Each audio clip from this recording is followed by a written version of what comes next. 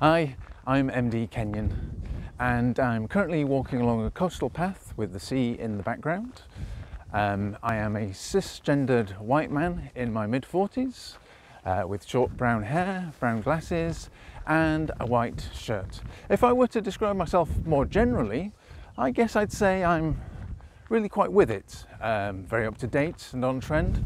So that's why here I am in 2022 on the ground level setting up a new YouTube channel and I've actually even bought myself a uh, selfie stick, one of those new selfie sticks to film this video with.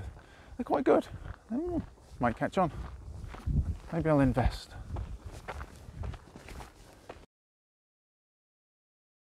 The channel. So, when I was young, um, there were lots of opportunities to be creative. And as I've gotten older, I found it more and more difficult to make time to make um, so I stopped writing plays, um, gave up on writing that novel, probably for the best. But I always found time to write um, short poems. Um, so I've created this channel as a place to play, uh, a chance to make something of those poems and uh, just see what I can do with them. Access. So I'm not saying that anyone should watch any of my poetry videos, uh, but I think access is important. And if we make things accessible, then people can make the choice themselves. So with that in mind, uh, every poetry video will be subtitled and there'll be two versions of each poem. Uh, one video will have an introductory audio description describing the action of the video at the beginning and the other will have that description in the text below the video. So um, access really is one of the main reasons for setting up this channel. So if you have any feedback at all, please do let me know in the comments below and it'd be much appreciated. Channel image.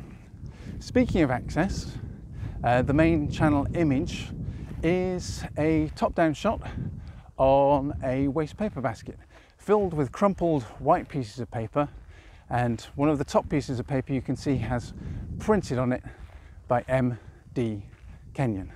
Similarly, the thumbnail for the channel is a single crumpled piece of paper printed with by MD Kenyon. Easter eggs. No, not literal chocolate eggs. These are references that I've put into the videos relating to one of the other poetry videos. So each video has a reference to one of the other videos. Now, like all silly, last minute, inconsequential ideas, weirdly, it became the most difficult thing about making these videos. So if you do notice one, please do let me know in the comments below. It'll make me feel so much better about the whole thing. And uh, there is a prize. I will let you know if you're right. And can there be any greater prize than knowing that you're right? Just ask anyone in a long-term relationship. Anyway, thank you so much for watching this video and if you do enjoy the poems, please do like and subscribe.